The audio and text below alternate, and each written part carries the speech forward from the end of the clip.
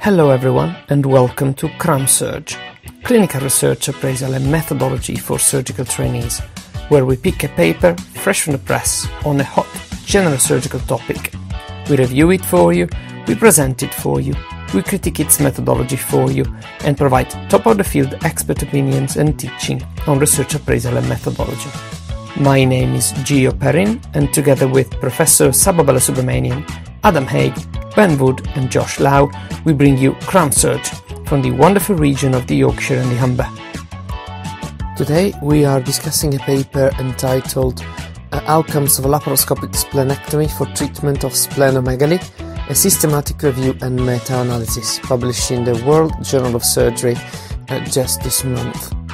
Following that, uh, Professor Saba Balasubramanian will deliver uh, the final lecture of the series on uh, descriptive statistics, and we'll be talking particularly about uh, special charts and special tables. So, from next month, we will be changing topic, likely looking at uh, some particular aspects of randomized clinical trials. So, stay tuned for more. Hi, everybody. Um, my name's Helen Pfeiffer. I'm an SHO in Huddersfield on general surgery. Um, and then, of course, you all know um, Mr. Gio Perrin. Uh, he's one of the GI trainees that works with me. And tonight we're presenting um, outcomes of laparoscopic splenectomy for treatment of splenomegaly, a systematic review and meta analysis. It was published in the World Journal of Surgery in 2020.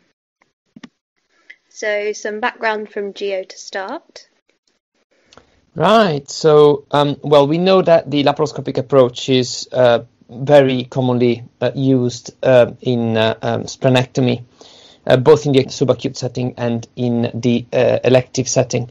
what we don't know for sure is whether this approach is applicable in the context of um, a big spleen, so in the presence of splenomegaly, as uh, obviously having a big spleen does cause uh, quite a few significant technical difficulties. Uh, to the point that a few years ago, um, splenomegaly was considered an absolute contraindication to a minimally invasive approach. Now we know that this is not entirely true nowadays. Um, but we do still think that uh, a big spleen, and particularly um, a spleen weight that's significantly increased, uh, does add some morbidity and an increased risk of conversion rate. And this is sort of where this paper sits uh, in terms of trying to shed some light. Uh, ball back to you, Helen. Thank you, Gio. Um, so the research question for this uh, paper um, was to analyze and clarify the best evidence in relation to the minimally invasive, invasive approach in splenomegaly as compared to open surgery. And this would be in regards to the relevant clinical outcomes. So the methods used, um, the systematic review was done using the PRISMA guidelines. PubMed, Medline, Science Direct, Scopus, the Cochrane Library, and Web of Science were all searched, and that's from 1992 to February 2020. And 1992 is important because it was the year that the laparoscopic splenectomy was um, uh, first done. Uh, only English language full texts were uh, used. Reference lists and previous meta analysis were also cross checked. Back to you, Gio. Yeah, so a few um, relevant clinical outcomes were evaluated in this context. The main aim is comparing laparoscopic versus uh, open um, splenectomy. However, as Helen will highlight throughout the presentation, other minimally invasive techniques are included in this analysis and compared with each other and with open splenectomy. So the main outcomes considered here are really length of hospital stay, operative time, excess blood loss, mortality, morbidity in terms of complications. And they do also look at spleen weight and size, uh, particularly trying to identify whether there is a significant difference between the laparoscopic uh, and the open group throughout uh, the literature. Uh, ball back to you, Alan. Thank you, Gio. Um, so the inclusion criteria for the study were um, any observational, retrospective, prospective, randomized, and non-randomized clinical studies. Uh, they needed to include the laparoscopic approach, open approach, hand assisted laparoscopic approach, or robotic approach. Um, data concerning operative time, excess blood loss, length of hospital stay, conversion rate, and morbidity and mortality were extracted. and also, like Gio said, the grade of uh, splenomegaly. And this was in either spleen weight or spleen size, and only adult patients uh, were included. Uh, also, the indication for splenectomy must not be traumatic or there must not be any other intra abdominal conditions. Back to you, Gio. Uh, all studies included um, in this meta-analysis were assessed for methodological quality uh, and fairly standard uh, scales were used to do so. Uh, Newcastle Ottawa scale was used for uh, any um, non-randomized um, study, basically. Um, for randomized clinical trial, they used the ROB2, um, which is also named revised tool for assessing risk of bias in randomized clinical trials, and this is sponsored by Cochrane um, itself. Uh, all uh, binary outcomes and continuous outcomes were included uh, in the meta-analysis, uh, as I mentioned earlier on. And they did look at uh, heterogeneity between studies, uh, and the random effect model was applied as appropriate depending on the outcome that was considered. Ball back to you, Helen. Thank you, Gio. So to start with, for the results, um, on the left is the Prisma chart. So 1,378 uh, records were initially identified through uh, the database search. And then, after removal of duplicates and assessing for suitability, a total of 20 um, were left over. However, only 19 were included in, included in the final meta analysis, as one of the studies, the quantitative data reported, was not compatible with the study's uh, model. And then to the right hand side, we've just got a summary of the uh, total number of studies and the patients uh, included. So for the laparoscopic versus open splenectomy, there were 12 studies uh, totaling 652 patients. For the hand assisted laparoscopic uh, splenectomy versus an open splenectomy, there were two studies totaling 398 patients the laparoscopic splenectomy versus hand-assisted laparoscopic splenectomy, there was five studies uh, in total of 306 patients. There was one study comparing the robotic splenectomy versus the hand-assisted approach. Um, and there were no studies found that were comparing the robotic splenectomy to the open splenectomy. Uh, back to you, Gio.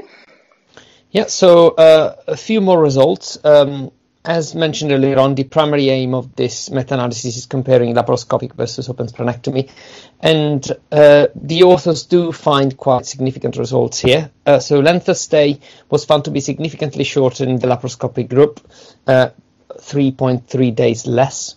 Um, the operative time was significantly shorter in the open splenectomy group by almost 45 minutes and blood loss was also significantly less uh, by about 150 mils of, uh, of blood. Uh, no differences were detected, luckily, between uh, the two groups in terms of mortality uh, and morbidity. Uh, a point worth mentioning is that the average conversion rate from laparoscopic to open splenectomy in these studies was 20%. Um, as mentioned earlier on, the authors looked at uh, splenic weight and size as well, uh, and they did not pick up any significant differences between uh, open or laparoscopic group. There is, however, what looks like potentially a typo uh, in the study itself, where they mention a p of less than 0.05. However, looking at the number, as you can see in the last two lines of this slide, um, and looking at the charts that we will um, see later on, um, it's unlikely that uh, uh, this is actually correct. So we think that p-value is a mistake. Or We'll ask the authors, um, obviously. And in the next slide, um, you uh, will have a chance of looking at a few uh, forest plots.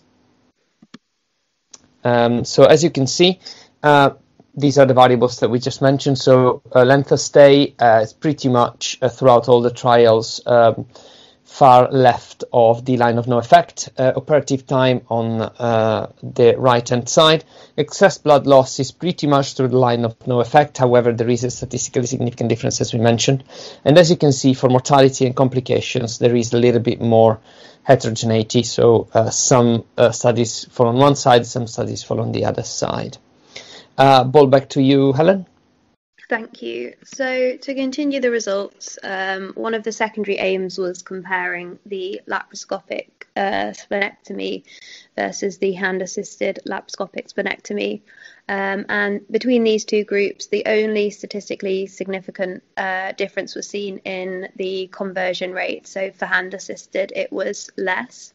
And then, therefore, there was no difference for length of stay, operative time, blood loss, or the complication rate. Uh, a further secondary aim was comparing the hand-assisted uh, laparoscopic splenectomy versus an open approach, um, and they found length of stay was significantly lower after the hand-assisted uh, procedure. Operative time was lower for the open approach, and excess blood loss was lower for the hand-assisted approach. Um, and like we said before, there was only one study that compared robotic splenectomy with another approach. Um, this was a retrospective study uh, that was robotic versus laparoscopic approach, uh, which there was 12 versus 27 patients, um, and they found a longer operative time and led less, less blood loss for the robotic splenectomy. Over to you, Gio.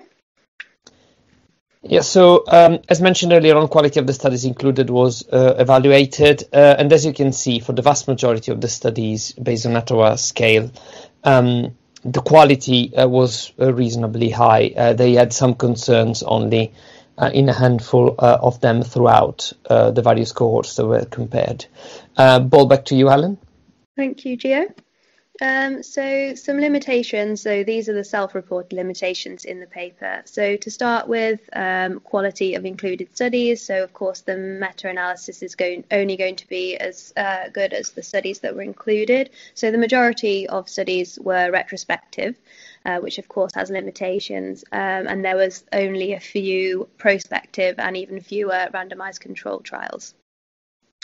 Um, Secondly, so difference in the way that studies report splenomegaly. So there's two ways of assessing uh, spleen uh, size. So that's either in a sort of a preoperative uh, measure um, from a scan, for example, or the second way that is splenomegaly is measured here is spleen weight. However, that's only uh, available post-operatively. Um, therefore, it is by definition an outcome. Um, so the study does mention that it would be best for um, the way we measure splenomegaly by um, using a pre-op size. Uh, however, pragmatically, most of the studies included, uh, they report spleen weight as their spleen measure. So that's why it's included in this study for practical reasons. Um, and thirdly, that there's a lack of standardized definition of splenomegaly, which will therefore affect um, the analysis of the data. Uh, and finally, they mention the concept of there's a difficulty in analysing the outcomes according to the intention to pre- treat principle. So, of course, as I mentioned before, a lot of the studies are retrospective, and therefore there's not necessarily the information about which approach was intended um, for the uh, removal of the spleen. So, for example, the hand assisted approach, uh, they might not have originally planned to do hand assisted, they might have planned to do laparoscopic, and that data is not necessarily there, so then may affect the uh, results of the meta analysis. Back to you, Gio. Yeah, a few more points that uh, we pick up along the way. Um, well, from a, the only real criticism I could find from a methodological standpoint was the uh, absence of a check for publication bias. Uh, I couldn't find it mentioned anywhere uh, in uh, uh, the meta-analysis itself. So potentially negative result studies might not have been published, and those uh, could potentially affect the results of uh, this meta-analysis. Um, as Helen mentioned, this is kind of in line with the intention to treat principle, really, but uh, we thought we'd mention it again. Um, I'm not really sure if we could consider the uh, hand-assisted laparoscopic splenectomy in itself um, rather a genuinely uh, a starting procedure or a step up or a conversion from something that was originally planned to be performed completely laparoscopically. Um, there's a few issues I've got with the uh, indications um, in the various papers, so this is not really uh, looked at. And obviously, uh, particularly if you perform a splenectomy in a patient with portal hypertension, um, complications will generally be higher. There will be an increased blood loss uh, and there will be an increased morbidity. So it would be interesting to know uh, what the indication was uh, throughout the board, uh, if that is in any way possible. Um, there is finally a technical point that has to do with the uh, vascular pedicle dissection technique. Um, we could use uh, Hem-o-loks, clips, etc., um, etc. Et but generally speaking, um, if you want a quick splenectomy, um, staples uh, do work very well. And obviously, if staples have been used, particularly in some studies, that could have shortened operative time reasonably significantly. Um, so, ball back to you, Helen. Thank you, Gio. So, to conclude, um, the study shows that laparoscopic splenectomy may be performed safely and has advantages over the open approach despite a longer operative time. Um, the hand assisted approach does show superiority to the laparoscopic uh, approach um, with a lower conversion rate and clear reduction in surgical difficulty. However, in the future, authors must use terminology and stratification in accordance with current guidelines in order to facilitate future data synthesis. And for stronger evidence, future prospective randomized studies with standardized spleen size um, reports are warranted. And this final slide is just um, a summary of the points that Gio and I have already made in this presentation. So thank you very much. So as usual, I'll uh, try and give you a brief overview of the discussion we had about the paper. As you will remember, throughout the presentation we discussed the concept of statistical heterogeneity where uh, different studies included in a meta-analysis do report different statistical uh, results, meaning that the difference they detect between two treatments is variable throughout the different papers included uh, in uh, the meta-analysis. So one study highlights a significant difference between the two treatments, another one doesn't, and the degree of difference detected uh, can be quite different. There is, however, a further important uh, concept to uh, keep in mind, which is clinical heterogeneity, whereby it's not just the results um, of the study that uh, are different, uh, but also uh, the types of populations that are included in the study itself. For example, in our case, um, it could be that um, the splenectomies performed uh, in the various different studies were performed for different indications different dermatological conditions, for example, uh, or uh, um, portal hypertension secondary to liver disease.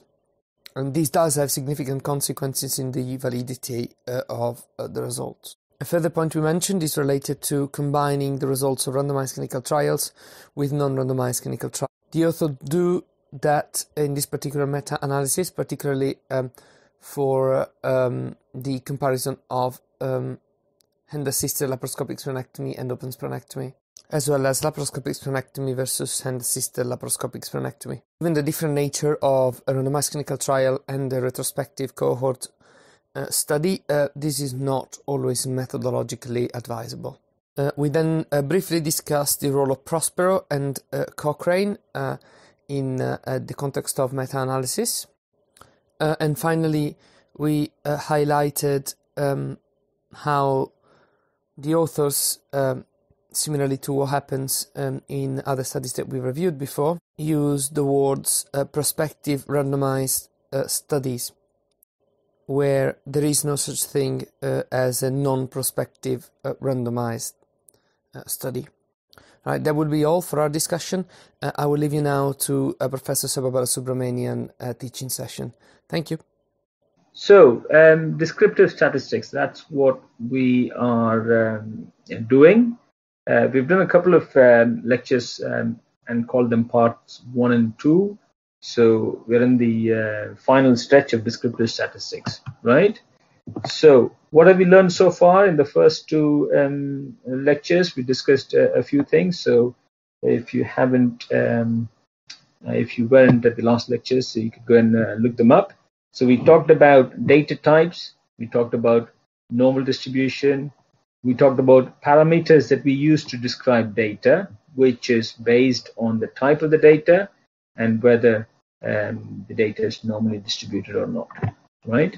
So here's this figure that uh, I've shown on a couple of occasions on the different ways in which data can be classified I find this a very useful figure to refer to from time to time um, whenever I have to uh, do descriptive statistics or I have to think about a statistical test to use. So again, very quickly, you can classify data as categorical or measurement or scale. You can uh, classify categorical data as qualitative or semi-quantitative, and measurement or scale data is also called quantitative data. Um, using another kind of classification, we can split the data into nominal data, ordinal data, interval data, and ratio data. Right? So I'm going to leave you to go back to those other presentations and have a look at it again if you are not able to uh, remember the differences between these different uh, types of data. I'm going to move on. We talk about data distribution. If it is quantitative data, um, we talked about the need to try and differentiate this um, into normal data or data that is normally distributed and data that is not normally distributed. And we talked about the various parameters that can be used to describe data based on uh, the type and distribution. For example, we said normally distributed continuous data should be described using mean and standard deviation while continuous data that is not normally distributed should be described using the parameters such as median and range. Okay. We talked uh, about graphs and tables in uh, part two on, of our descriptive statistics series.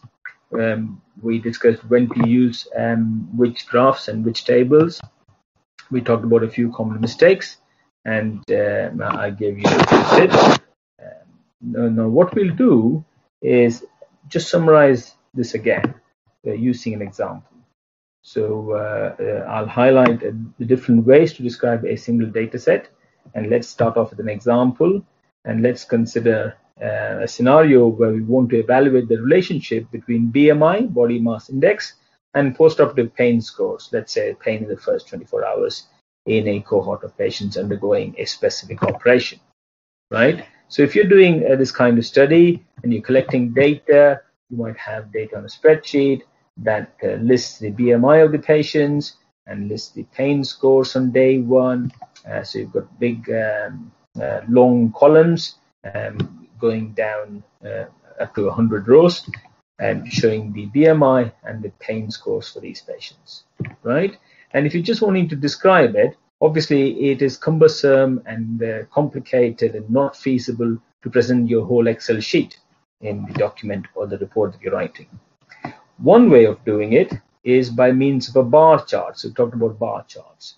And in a bar chart, you might want to uh, categorize BMI into uh, three, four, or five different categories. And here you've got healthy, overweight or obese, and then moderately obese. And you've got the median pain scores that are depicted um, in the y-axis.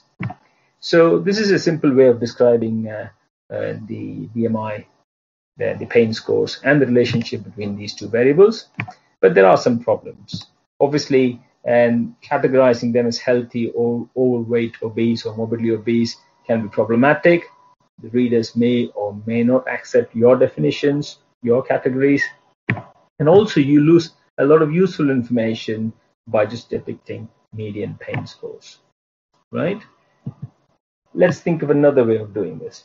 So let's say you want to categorize pain scores as well, and as per the severity of pain. So maybe one is very minimal pain, two is moderate pain, and three is severe pain.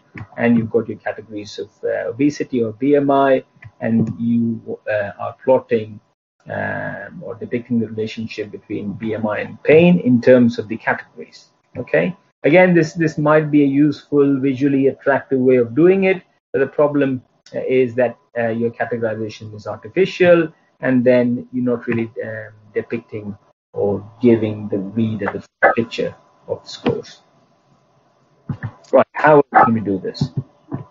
How about a box and whisker?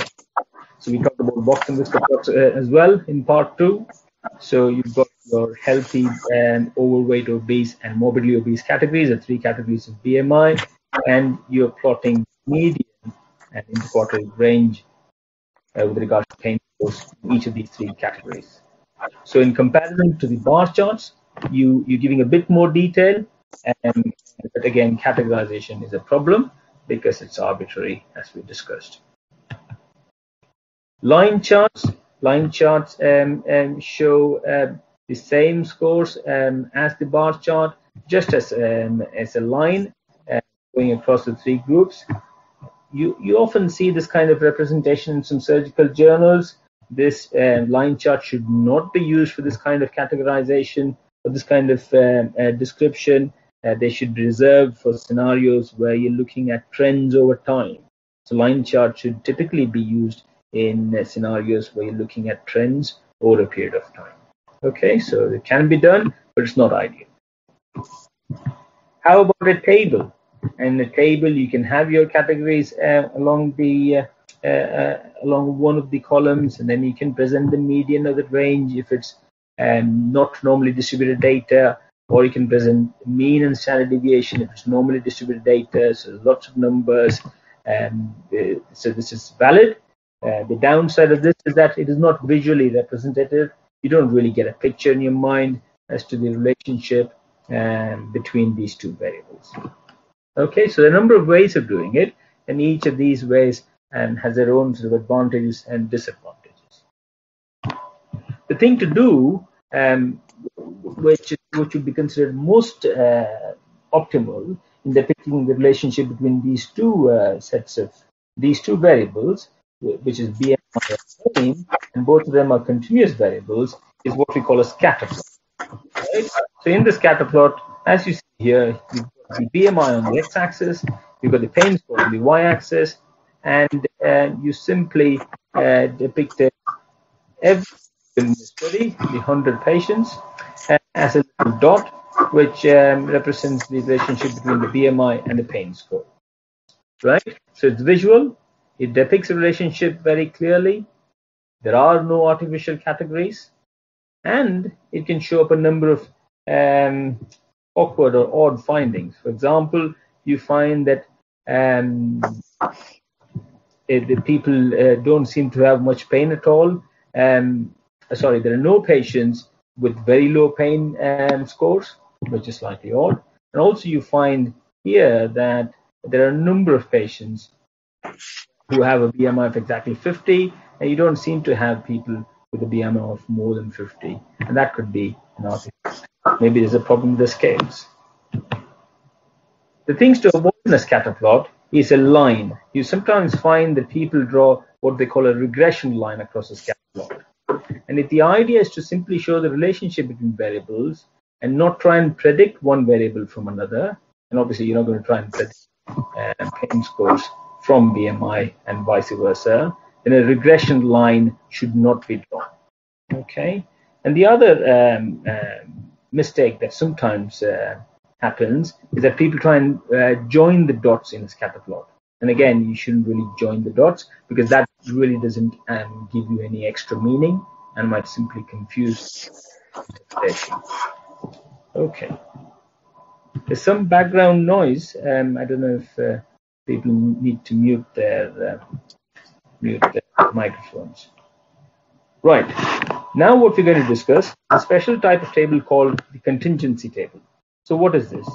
It's also called the cross tabs or cross tabulation and simply uh, it is uh, just a special type of frequency distribution table. It's often used in uh, uh biomedical research and basically it shows the relative distribution of two categorical variables. So these two words are important. The distribution of two variables relative to each other, and they're usually categor categorical, although sometimes you can uh, you can have ordinal variables as well. So here's the contingency table. So what are the two variables? The first variable here is a test um, variable. So is a test positive or negative? So it's a binary variable. And the second variable is um, here in this example is a disease variable or the disease status variable. So is a disease present or absent. And then you've got these cells which ought to be mutually exclusive. So there are four cells here because for each variable you've got two options. So two times two is four. And then you have the um, totals represented as either column totals or row totals. Okay, And um, I'll explain this in a minute, but in a contingency table, ideally you ought to present either the column totals or the row totals, not both. Right. So you've got the same kind of contingency table presented in two different ways. The first one on the left is with row totals, and the, the second one on the right is with column totals. Okay. Now, usually, or as a, a convention, we tend to present outcomes as columns. So outcomes in column headings. And this could be either outcomes following an intervention as uh, an example, you know, dead or alive, or recurrence or no recurrence, or the occurrence of disease after exposure to risk factor. Those are outcomes, and in, by convention, they are presented as columns. And the risk factor, of the intervention, is usually presented as rows. I mean, you could do it the other way around, but if you follow a convention, then it's easier to for, for, for readers to follow and interpret the data in the contingency table. Right? The next thing, and the next um, thing to keep in mind is that when you're presenting totals and percentages, so on the left-hand side you have um, row percentages and row totals, and on the right side you have column percentages and column totals. Uh, which ones to present really depends on how the study was designed. So what do I mean when I say this? So if you have a case control study, and if you remember from our previous lectures on case control study, uh, you uh, may remember that you start off with people with the disease and people without the disease and go back and look to see if they had the risk factor or the positive or negative test. So it is clearly retrospective. You start off with the outcomes and therefore you should be presenting column totals and column percentages. On the other hand, if you are um, doing a cohort study or if you're critiquing a cohort study, in a cohort study, you start off with the risk factor of the intervention, you follow people over a period of time to see if the outcome has occurred or not. And therefore, because you're starting off with um, the risk factor or the intervention, over time, you should present row totals and row percentages. Okay, so I hope this makes some sense. Uh, if not, just have a look at the um, talk on case control and cohort study designs, and then come back to this, and and uh, I'm sure that will be uh, it'll be clearer for you. Right. So, what's the value of a contingency table? Mean, the obvious value is that it shows the relationship between variables. You look at the table, and then you know, and you get some idea as to the relationship between the disease and the test. It helps you calculate parameters that assess association. So the common measures of association are the odds ratio and the relative risk. Where we have discussed this before in one of our previous talks, so you can look that up. And there are some other uncommon measures of association that um, I wouldn't worry too much about because they're not very commonly used in surgical research.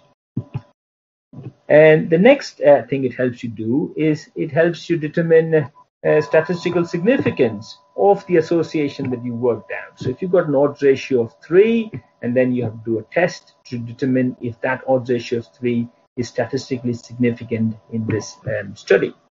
Uh, and we're not going to discuss statistical significance because that is inferential uh, statistics, and we're talking about descriptive statistics. Okay, so we'll go on. And there are some other related tables called, uh, a typical example is the pivot table. Um, Excel does it for you, pivot tables you might have heard of. Um, it is very different to the contingency table. In a pivot table, you get aggregates, right? And not in counts. Okay, so aggregates are summated measures, so they're very different and shouldn't be confused with the contingency table. All right, so so much for a contingency table. Oh, there's another slide. So uh, yeah, there's one other slide. So in a contingency table, um, in the tables that we've seen, you've got uh, two variables which have each of which has two levels. But sometimes you can have three levels um, in one or more variables. So if you have three levels, that becomes a three by three table. If you have two levels in one variable and three in another, that's a two by three table and so on. So it doesn't always have to be a two by two table. That's something you need to keep in mind. Okay. Um, another mistake that um, I notice fairly commonly when I review papers is that people insert additional columns or rows for missing data, like this. So in this table, you find that um, if you look at the column headings, you've got disease present as one heading, you've got disease absent as another heading, and then you've got unknown status as a third heading, right? And you will find that there are very few patients where the disease status is not known for a variety of reasons, and the authors have inserted yet another column and added the number of unknowns. I mean, they might assume that they're being open and transparent, and that's very good. But having a, um, a separate column for unknown status just distorts the relationship uh, between the uh, outcome and the risk factor. So it is to be avoided. And what we usually advise is that um, you remove the unknowns from your denominator and simply present uh, the uh, patients for which both the disease status and the test status is known. And you can clarify that in your method section or your limitation section and say that you haven't, you've excluded X number of patients, 11 in this example, uh, from the calculations, from further analysis, simply because the disease status was not known. All right. So now we're moving on. So we're going to talk about uh, the, forest plot. I think a number of you might have heard of the forest plot. Uh, oh, we've certainly um, listened to a paper with lots of forest plots in it. So what is a forest plot? So a forest plot is a plot used to compare a specific outcome in two different groups reported by a number of similar studies and is usually done as part of a meta-analysis. So the outcomes, a specific outcome, which could either be occurrence of the disease, if you're looking at a risk factor or a diagnostic test, or the effects of interventions, if you're looking at um, patient being alive or dead after different types of treatment for a specific cancer, for example. You might be looking at recurrence of uh, a disease. You might be looking at hospital stay. It could be any outcomes following different interventions. Groups, and the groups are usually stratified by the risk factor or by the intervention. And the studies could either be randomized controlled trials or observational studies, and uh, ideally not a mixture of randomized controlled trials and observational studies, as we discussed previously. Right, so here is an example of a forest plot. Uh, this is from a systematic review uh, done by one of our students in Sheffield on um, hypocalcemia um, after thyroid surgery. So let's um, divide this forest plot into its various constituents and go through them. Right. Firstly, in the forest plot, you want to um, mention or cite the various studies that you've included in the forest plot. So you usually put them in chronological order, and that's not mandatory, but most people tend to do it, and, and they list the studies in the order in which they were published. So the oldest studies first, and the most recent studies uh, right at the end. Okay, so you're simply listing the studies. That's all you're doing there. The next step is uh, you're telling us what the um, numbers are in the different groups, in the two different groups in each study, and what events were in the different groups. So here you have hypocalcemia as the event or the complication in patients with Graves' disease and patients without Graves' disease and you're effectively comparing hypercalcemia rates in these two groups of patients. So for each of the study, you've got some Graves and some non-Graves patients, and you're um, you're just um, writing down the numbers uh, of patients with the complication in both these groups. Okay. Then you have a column that talks of the um, effect size or the measure that you're interested in. In this example, the odds ratio the odds ratio that um, looks at the association between hypocalcemia and the, the type of thyroid disease. And finally, you've got the plot, the forest plot. Okay, so we'll just um, explore the plot and look at it in a bit more detail. So this is the plot. So what does this um, show? So it shows a number of squares each square um, specific for each study included in your meta-analysis, right? And the squares, um, the size of the squares reflect the effect size and the weight. So where the square is, um, that gives you an idea of the effect size. So the first square, for example, uh, if you go down onto the x-axis, um, it points to an effect size of about 1.3 or 1.4, which is the odds ratio in this particular example. Now, because the square is small, it probably reflects that uh, the, the reflects the sample size. The sample size is probably small. Okay, so that's what the squares represent. The lines on either side of the square, or the whiskers, the horizontal lines that you see here, give you the 95% confidence interval around the um, effect size. Okay. Now the diamond here, low down, gives you the summated effect size, takes into account all of these four effect size from these four studies, and it gives you the aggregate, right? Now, there's a vertical solid line, which is here, which you can see here. This is the line of no effect. So the odds ratio um, or relative risk, which are both ratios, the line of no effect will be 1, which means that in both um, the uh, intervention groups and the non-intervention groups, the complication rate is the same or the outcome is the same, right? So that's the uh, vertical solid line, which is a line of no effect. Now, I've just drawn a dotted red line which passes through the middle of the diamond. So the dotted um, uh, red line, vertical dotted line, shows the summated effect, summated measure that you get by doing the meta-analysis, which is the aggregate of all of these four studies. So it usually passes through the middle of the diamond, the black diamond. And the edges of the diamond, as marked here, and gives you the 95% confidence interval of the summated measure.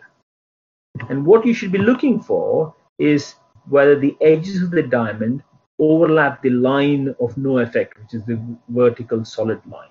And here it does not overlap the line of no effect. And that means that that's a significant result. So you've got the odds ratio of almost 1.8, which is a summated odds ratio for this meta-analysis, with 95% confidence intervals of around 1.5 to 2.3. And that 95% confidence interval does not include and the odds ratio of 1, which is a line of no effect, and therefore this is a significant result. The summated measure, the summated odds ratio in this meta-analysis is significant. Okay, so I hope that makes some sense. Now, this effect size or, or measure can either be a ratio, for example, odds ratio or relative risk or attributable risk, or it can simply be a difference. For example, you're looking at difference between uh, difference in length of stay in Graves' disease and non-Graves' disease patients undergoing thyroidectomy. So there you have a difference. It's not a ratio, right? And the SMD refers to standardized mean difference between the groups. So if you have a standardized mean difference, uh, the SMD, then if there's no difference between the groups, then the line of no effect should be zero, right? If you have um, an effect size which is a ratio, i.e. odds ratio or relative risk, then the line of no effect would be one because uh, because that's what ratio uh, means. If the ratio is one, that means there's no difference. So I hope that makes um, sense. So you've got to keep in mind that the line of no effect should be at one if it's a ratio for example, odds ratio or relative risk. But it should be at zero if, it, if you're looking at difference between groups. So when you look at um, a forest plot like this, there are two key questions you want to answer. One is, what is the summated measure? So in this case, it is 1.8. And does that, um, does the 95% confidence intervals or the edges of the diamond overlap the line of no effect? So those are the two key questions you want to try and answer when you're looking at a forest plot. The forest plot also um, demonstrates heterogeneity, statistical heterogeneity. In other words, how different are the results of studies to each other. So they all on one side of the line of no effect, and in this case, all the squares are on the right side of the line of no effect, or are they a bit are they a bit scattered? And are the odds ratios relatively similar or very different. So that gives you a visual understanding of the statistical heterogeneity of the different studies in the meta-analysis. Right, so we've done forest plot. The last plot uh, we're going to discuss today is the funnel plot. Right, so what's the problem? Why do you need this plot? Now, meta-analysis generally uses published data, usually. You don't find uh, authors of meta-analysis and systematic reviews um, trying to get hold of non-published data um, to include in their meta-analysis, right? And uh, we all know that a number of studies may just not be published for whatever reason. There are numerous reasons for that. And it is quite possible that there are some differences, some underlying systematic differences between data that is published and data that is not published. Okay? So that is the problem. Now, what this can result in is what we call publication bias, which means that it is possible that the summary measure of your meta-analysis may not really be the true effect because there are some important studies that are not being published and that deviate or pull you away from the truth. And they could be because the publication getting delayed. There are some big studies coming out, and you, yeah, and um, uh, it may come out in print just months after you've published your meta-analysis. That could be a reason. It could be that um, the same study has resulted in numerous publications, and you've included the same set of data over and over again. It could be because um, there is language bias or citation bias. It could be because negative results or studies that do not show difference between interventions just don't get published because journals and editors and reviewers are just not interested in uh, negative results. That's another problem. That's another common problem. Right. So one way in which you get to assess publication bias is by um, plotting a funnel plot. Right. So we've understood how a funnel plot uh, may be useful. So let's look at the constituents of a funnel plot. So this is a, a, a good example of a funnel plot. I've taken this from a, a free available paper in the BMJ. So what does this show? So it shows a number of uh, blue dots, right? Blue dots covered by a black circle, and each of these dots represents a single paper. So the number of papers in this meta-analysis and each paper is represented by a blue dot or a circle. Now on the x-axis, you have the effect size. This effect size, like I said before, could be an odds ratio, could be relative risk, could be standardized mean difference, and, and so on, right? And because it's a ratio, in this particular example, they've represented this on a logarithmic scale, as ratios usually are. On the y-axis, here in this example, you've got standard error, but you could also have what we call sample size. So effectively, what you're doing is you're comparing the odds ratio of uh, in these various studies to their standard error here. Okay, so you're comparing, uh, you're, you're, plotting the relationship between two quantitative variables. So in other words, this is uh, essentially a scatter plot, the plot, right? So what what about this uh, triangle, the dotted triangle? Now the dotted triangle is a triangle that you that you calculate and work out using the software, and this represents the area in which 95% of these studies should lie when you plot them um, uh, on the basis of their odds ratio and, your, and the standard error. error. Now, the vertical um, dotted line is the summary measure of the meta-analysis, just like we showed where we discussed with the forest plot, right? So here it's around 0.5 or so. And the solid uh, vertical line is a line of no effect. And like I said before, it should be at 1 uh, because it's a ratio. So for odds ratios and relative risk, uh, the uh, line of no effect should be 1. Okay? So in a uh, funnel, in this funnel plot, all of these studies are within the dotted triangle and these studies are fairly symmetrically placed around the uh, summary measure or the dotted vertical one. Okay, so that, that's what you're looking for. You're looking for symmetry around the summary measure. And it is fairly symmetrical. Okay, right, so you look for symmetry around the vertical dotted line. And um, if there is asymmetry, then there could be a problem. Now, that problem may be publication bias, but there are lots of other reasons for asymmetry. So just because you have asymmetry in the funnel plot doesn't mean there's publication bias. It could be publication bias. It could be significant heterogeneity between studies, in which case you shouldn't really have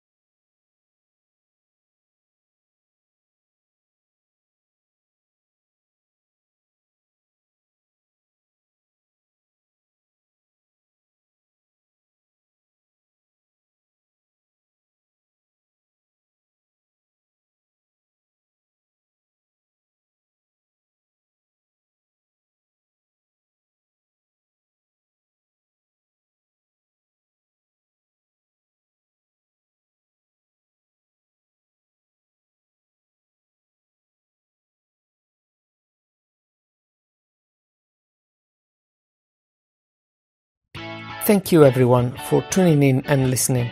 Until next time, keep running your life with our surgical podcast.